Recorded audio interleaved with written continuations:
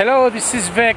Welcome to my channel. Thank you for viewing my videos. Today I'm in the South Pacific and I am in the French territory of Wallis and Futuna. Now you may have heard of the French territories of uh, French Polynesia and New Caledonia where there's a third one, Wallis and Futuna which is by far the most remote and the least known of the French territories here in the Pacific.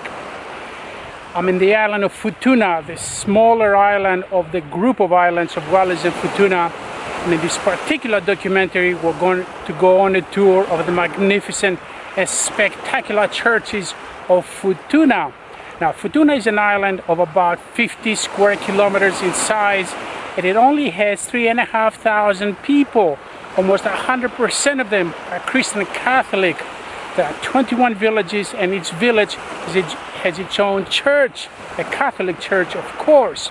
So what I have been doing for the last few days, I have been driving and walking around this magnificent, spectacular island, and I have been videotaping the Catholic churches. And here's a review for you of the Catholic churches of the remote island of Futuna in the South Pacific. Now don't forget to watch my channel for a full review of the island of Futuna where we get a chance to see the nature and also the major sites around this beautiful island. In this particular documentary, we'll concentrate only on the churches. This is Vic. Enjoy. Bye-bye. And uh, here you see outside views of this magnificent basilica, the Basilica of Saint Pierre Chanel or Petelo Sanele.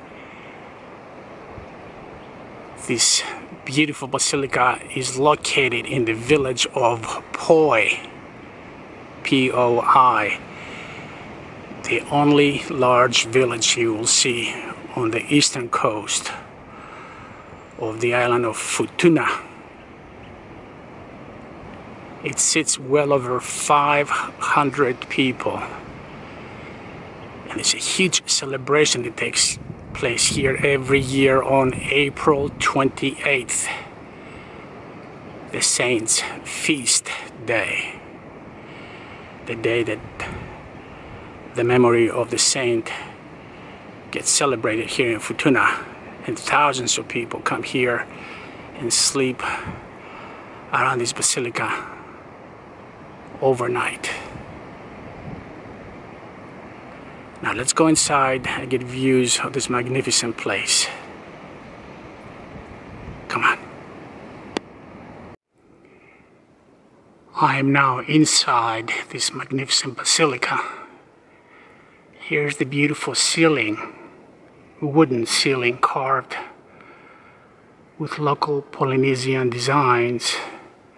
Now it is a very large basilica. I can sit over 500 people that's remarkable given that the whole population of Futuna is only three and a half thousand people. Let's walk towards the altar. You will see the fresh flowers placed around the altar on a daily basis. Actually, I can smell the flowers over here.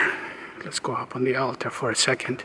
And in the back, right there, you will see Jesus crucified, Jesus on the cross wearing a local lava lava garment. This is the local garment that the men wear here. Almost everywhere, including you must wear a lava lava when you go to church here in Futuna. I did last Sunday. I had to borrow one. And here's the very last view of the altar. Jesus and the Basilica. And uh, here is the magnificent Catholic Church of Sao Sao.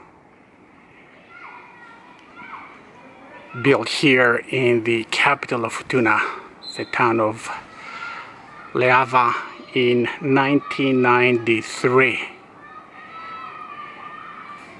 One of the largest churches here in Futuna. I can sit over 500 people and it is a magnificent place to come to during Mass on Sunday mornings. Now at the end of this uh, documentary concerning the churches of Futuna, you're going to see very rare video footage videotaped a couple of days ago during the confirmation Mass. On Sunday morning. But Here's another view of this magnificent church. And uh, here's a view of this magnificent church from the other side. You can see the three towers right there. Here's the residence of the priest. And here's the fale, where kava drinking takes place on Saturday nights. Let's go back inside the church and see what it looks like inside. And this particular video clip was videotaped on a Saturday night when the church was open and all the lights were on. Let's go inside.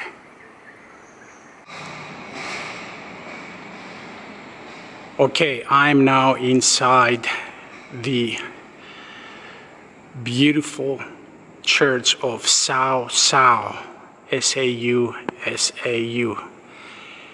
That's the entrance right there.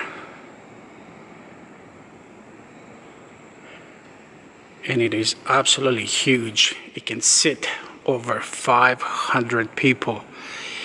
It is Saturday night and I will be here tomorrow morning for Mass and I may be able to videotape some of the events taking place tomorrow. But let's walk around this magnificent church the churches are open on Saturday nights here in Futuna. You can see it is built in the shape of a Latin cross. Here is the left side of the cross and the right side. Here is a general view.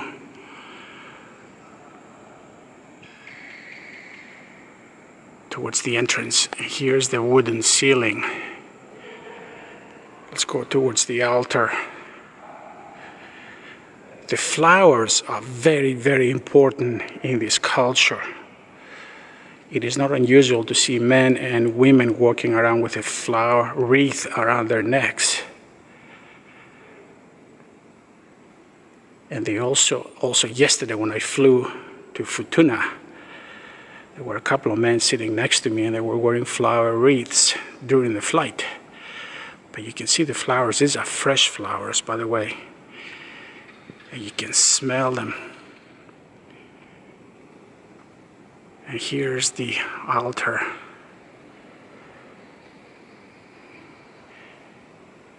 And this is where the priests will sit tomorrow.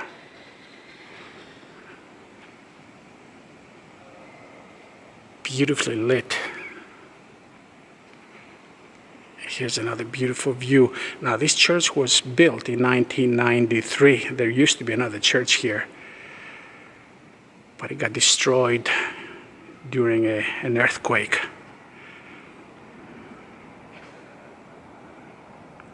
Here's a view of the beautiful flowers.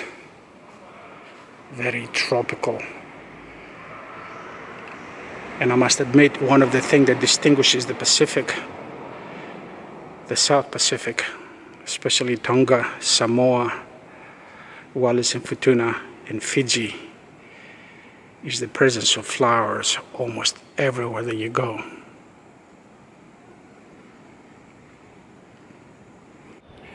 Now, despite the huge loss of population here in Futuna of 10% between 2008 and 2013, and that's out of three and a half thousand people. Over 10% mostly young people decided to leave this beautiful island forever. Most of them have migrated to New Caledonia.